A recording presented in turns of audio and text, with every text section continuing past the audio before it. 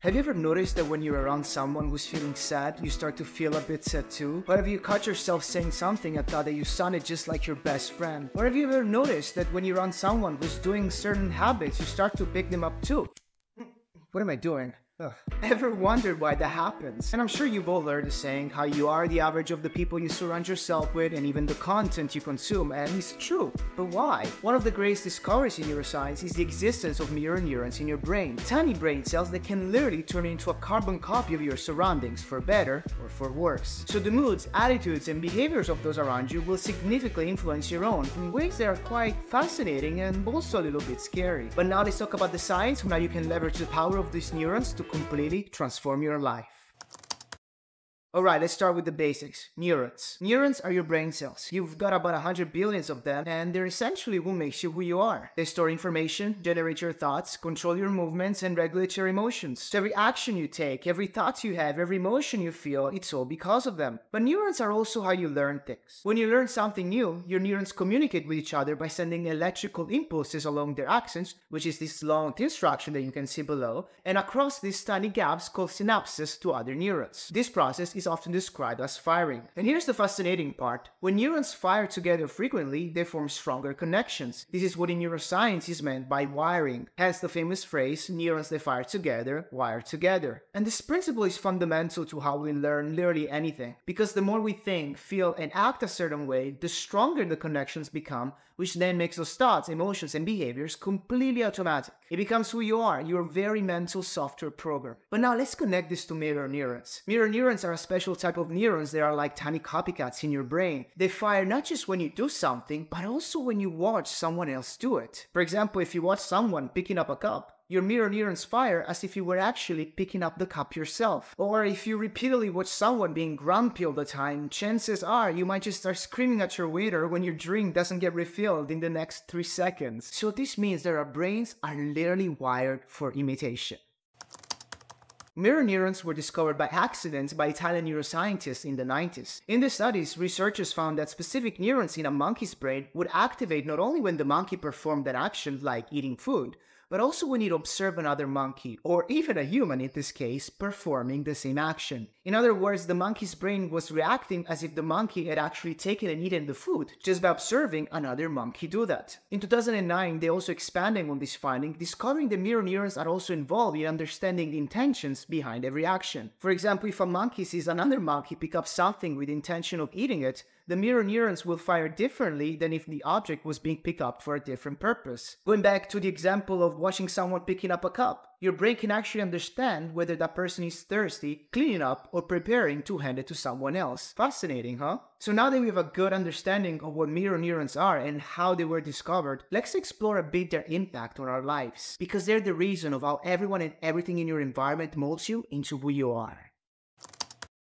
Now, mirror neurons are also deeply involved in understanding emotions. When you see someone smiling, for example, your mirror neurons fire in the same way as if you were smiling yourself. This is also known as emotional contagion. You know, if I just start smiling right now, you'll see you're going to start smiling too. Why not? And this neural mirroring is fundamental to our ability to empathize with others. It's what allows us to feel the emotions of those around us, making human connections richer and more meaningful. But of course, as you can guess, there's also a little downside to this. Because if you hang out with someone who's always anxious, chances are you'll start feeling that anxiety too. And remember what I said at the beginning of the video about neurons that fire together wire together. So the stronger the connection, the more it becomes automatic for you to be that way. So by repeatedly surrounding yourself with people that are always down, always stressed, always angry, always complaining, eventually you become that too. And it's not because of some magical reasons, it's just a little bit of neuroscience. But the opposite is also true. If you surround yourself with positive and happy people, just watch how you're going to feel happier all the time. Or if you surround yourself with disciplined and healthy people, trust me, you're going to become disciplined and healthy too. And this applies to even wealth. Hang out with wealthy people, and chances are you become wealthy too because that's a completely different mindset. I've experienced this firsthand in my life so many times without even realizing it. That's why it's so important to understand the science behind it so you can become more aware and more careful of everyone around you because this happens to you whether you want it or not. I remember I always pick up the habits and behaviors of the people I surrounded myself with, which for the most part were not very good ones. And by the way, this is literally how you eventually become someone else. Sometimes the shortcut to change is to forget about all the books and just change your environment. Because when you change your environment, you change your life. Now, there's something left that we need to discuss because it's not just the people you're around, it's also what you watch and consume on a daily basis. Your favorite TV shows, movies, and even the videos you watch online are all shaping you more than you might even think. When you watch a movie, for example, your brain doesn't just passively absorb the story because your mirror neurons are working behind the scenes, making you feel what the characters feel. As Dr. Giulio Maira, head of the cerebrocranial neurosurgery in the Humanitas Research Hospital, said, our mirror neurons activate when we see an actor making a gesture, performing an action, or getting emotional. If an actor gets excited, the same neurons in our brain light up, making us feel that excitement. But here's where it gets really interesting because mirror neurons also influence our behaviors and attitudes. Think about if you're constantly watching shows where characters solve problems through violence, your brain starts to normalize that behavior. Even if you're not going to go out and kill people to solve your problems, because thankfully you've got more than just mirror neurons in your brain, I hope, your brain is still learning those patterns. And of course, our mirror neurons don't stop just at movies and TV shows, they also work when we play video games or scroll through social media. And this is so powerful. It means everything you consume can solidly shape your thoughts, beliefs, and behaviors. Through repeated exposure to certain ideals and norms, what you consume can manipulate your perception of reality, brainwashing you without you even realizing it. So first, cut down on TV and all of this excessive entertainment. And just on a small note, you know, on average, average, people spend about three hours a day watching TV, which, if you do the math, is a full month and a half every year. And over your lifetime is actually nine years of your life. Nine years! Think about what you could do with that time. And second, consume content that uplifts you and make you a better person. Remember, your brain is incredibly plastic and it's always adapting to what you feed it. Like this video is probably very good for your brain. So if you haven't done so already, please click on the subscribe button below, like this video, and let's make the content we consume a tool for positive change. Thank you. Alright, now that we know how powerful our mirror neurons are, Let's talk about how you can use this knowledge to your advantage because it's not just about understanding these concepts, but about applying them in your life starting now. So let's break it down into a very nice action plan. One, evaluate your circle. It said that you are the average of the five people you spend the most time with. So take a close look at the people around you. Are they lifting you or dragging you down? And this is what I want you to do. Step one, grab a journal and make a list. Start by making a list of the 5 10 people you spend the most time with. These can be like your friends, family, members, co workers, anyone who have a significant presence in your life. Step 2 Evaluate their influence. For each person on your list, ask yourself these questions Do they inspire me and motivate me? Do they support my goals and dreams? Do they bring positivity into my life? Do they challenge me to become a better person? Step 3 Identify energy drainers. Be honest with yourself. Identify anyone in your list who constantly complains, criticizes, or brings negativity into your life. These are the energy drainers you need to start spending a lot less time with. Step 4. Make a plan. Decide how you can gradually reduce time with negative influences and increase time with those who uplift you. It might mean scheduling more coffees with positive friends and politely declining invitations from negative ones. Make the plan and act on it. Don't just listen to me, make the plan. Step 5 Seek new connections. You need to start looking for opportunities to meet new people who possess the qualities you admire.